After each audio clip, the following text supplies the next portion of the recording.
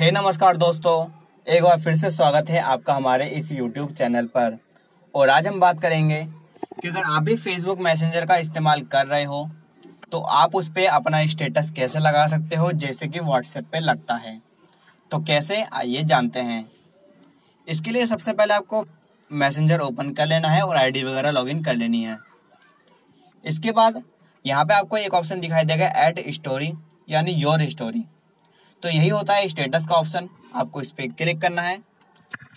इस पर क्लिक करते ही यहाँ पे आपके पास ऑप्शन आएँगे दो कैमरा और टेक्स्ट और बाकी गैलरी में आपके ओपन हो जाएगी, नीचे की तरफ़ आपको दिखा देगा।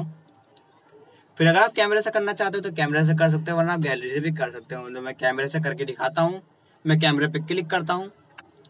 इस पे क्लिक करने के बाद मेरा बैक कैमरा चालू हो चुका है, आप इसे फ्रंट भी कर सकते हैं इधर से।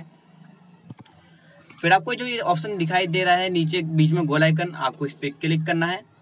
और जब तक आप इस पर दबाए रखेंगे, तब तक आपका स्टेटस बनता रहेगा, आपको एक ब्लू लाइन दिखाई दे रही होगी। ये मेरा स्टेटस बन रहा है अभी। जब तक ये ब्लू लाइन यहाँ तक नहीं आ रही, तब तक ये रुकेगा नहीं, पर मैं बीच में छोड़ सकता हूँ इसे। तो मैं इसे बीच में छोड़ देता हूँ। बस हमारा स्टेटस बन चुका है, फिर आपको यहाँ दिखाई देगा योर स्टोरी आपको इस पर क्लिक कर देना है, आप यहाँ से इसे कट क्रॉप भी कर सकते हो। तो नहीं करना चाहता, मैं योर स्टोरी पे क्लिक करता हूँ और ऐड पर क्लिक कर देता हूँ।